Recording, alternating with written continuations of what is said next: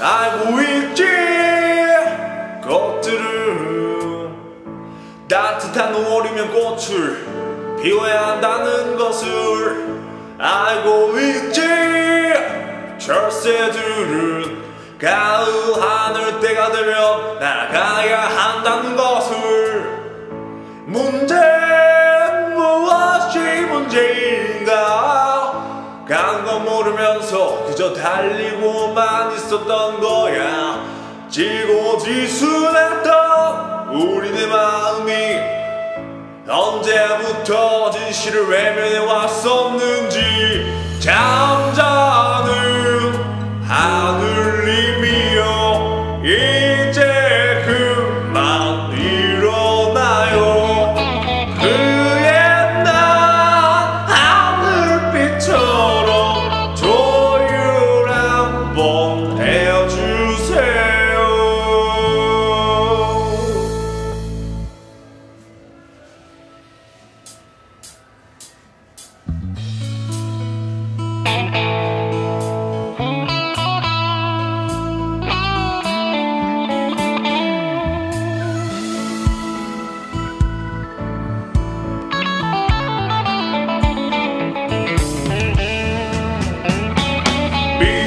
사랑으로 분노는 용서로 고립은 위로로 충동이 인내로 모두 함께 손잡는다면 서성대는 외로운 그림자들 변한 마음 서운할 수 있을 텐데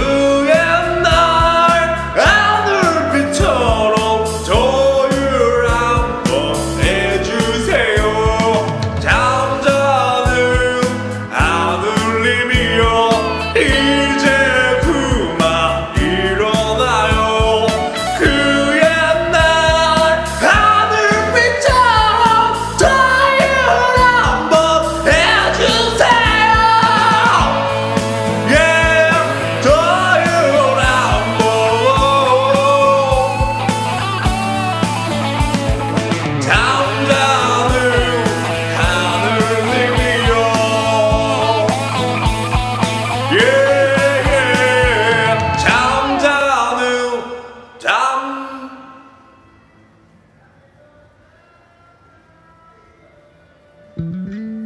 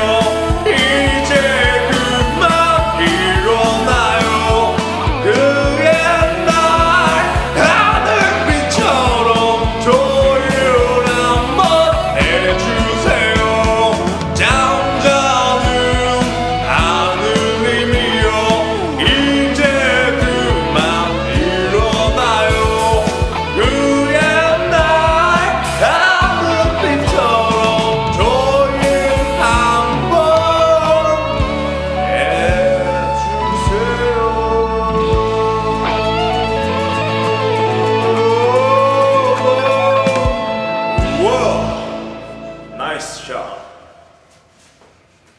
나